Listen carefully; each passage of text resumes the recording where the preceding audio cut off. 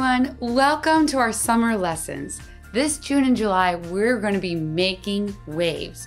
Just like the ocean, when one wave crashes, it starts another wave and another wave, and it just keeps the ocean constantly moving. So, we are going to be talking about the fruit of the Spirit. God gave us Jesus as an example on how to be human, and God gave us the Spirit so that way we had things that we we had God within us. So we're going to go through the fruits of the Spirit this summer together. We're going to kick off week one all about love. So as we're making waves this month, remember that one act of kindness, just like a wave, will start another act of kindness. And that will start another act of kindness, trickling throughout your whole community. Again, this week is about love.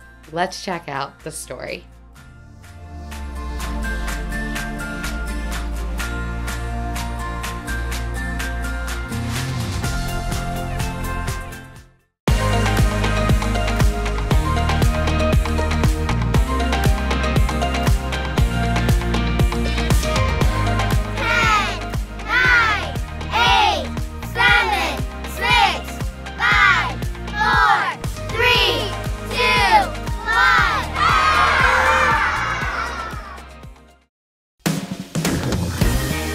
All right.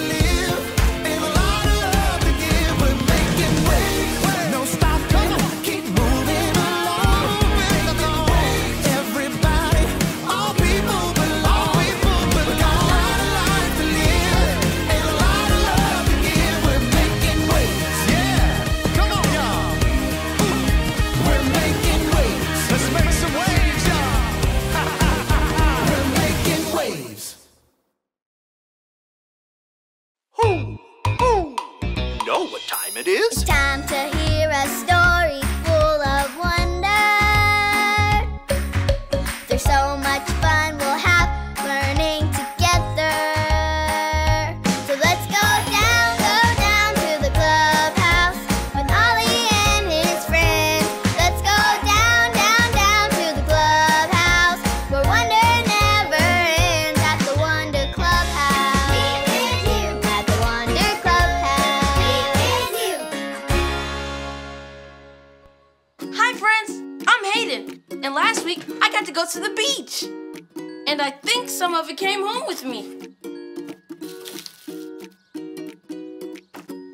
Raise your hand if you like to play in the water.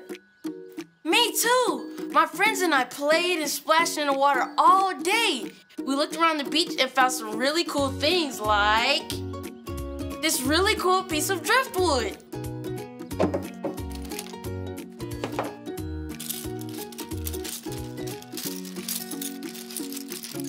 And so many shells. But the most fun thing we found was really cool painted rocks. Some people painted them and hid them in places on the beach. Do you know what's on this rock? Shout it out if you know. One, two, three. A heart. Yes, a heart means love. I love hearing the waves. I love playing ball.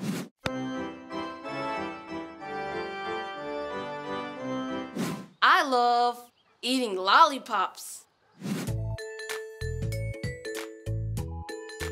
There's so many things to love. Who? Who? It's Ollie. Hello, Hayden. Who? Who? Found some treasures at the beach, did you? Oh, hi, Ollie. Someone painted this cool heart rock, and it reminds me of all the things I love. Love is important. It's true. I know the biggest love ever for you. Listen to this story. Just follow me through. Hoo, hoo. Follow me through, follow me through, who? Ollie's got a Bible story for me and you.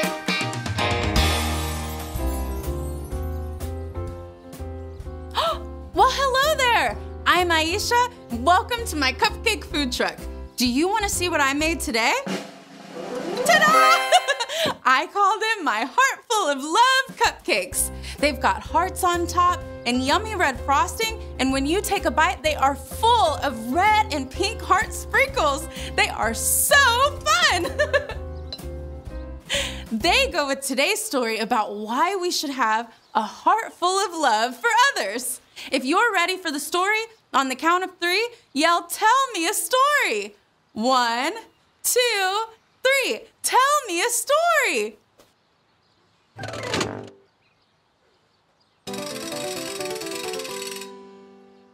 Today's true story from the Bible starts with God. Do you know that God loves you so much? It's true. Stretch out your arms as far as you can. Yes, stretch really far. Good.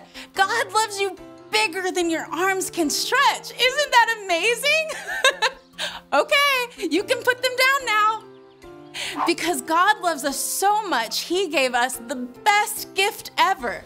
God gave us His Son, Jesus, to be our friend forever.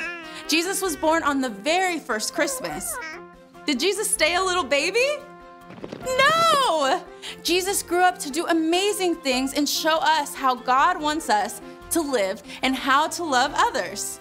No matter where Jesus went or what he was doing, Jesus stopped to show others that he loved them.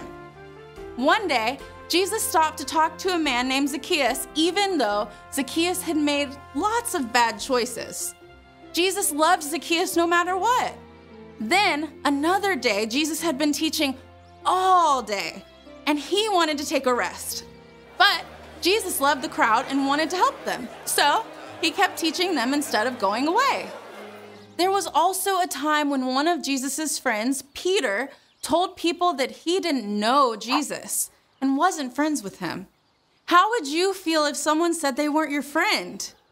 I would feel sad and it would probably be hard to forgive them.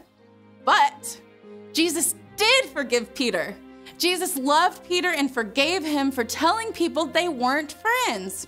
Jesus is an amazing friend, and God sent him to show us how to love everyone. Jesus taught us to stop and listen to our friends. Jesus taught us to help our friends. Jesus taught us to forgive our friends. When we stop to listen, help, and forgive, we are loving like Jesus taught us to. Jesus can help us love everyone.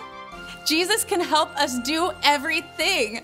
Did you like the story? If you did, give it two thumbs up. Two thumbs up. hey there, Ollie. Tell me, who can help you do everything? Jesus can help me do everything. Yes, it's true. Now, let's hear it from you. Tell me, who can help you do everything? Jesus can help me do everything. That's the truth, friends. You better believe it. See you next time.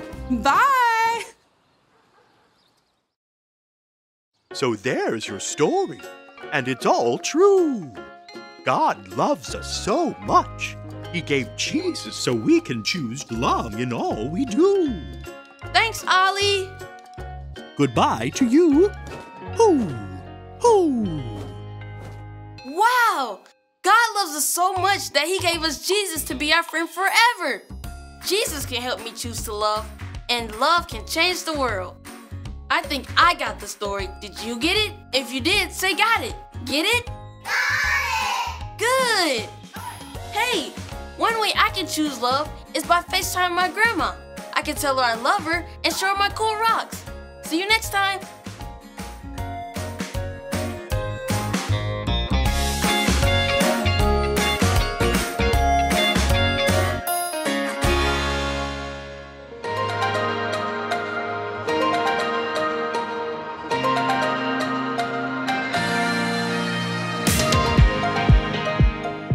I can do everything through Christ who gives me strength.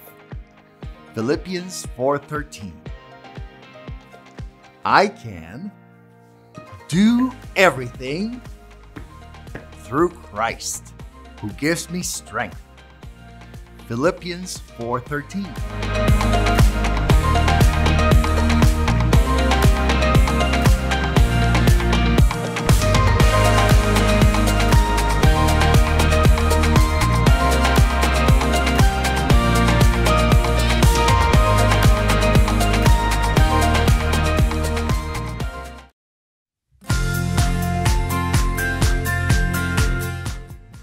God sent his only son, Jesus, to be an example for us and show us how much he loves us.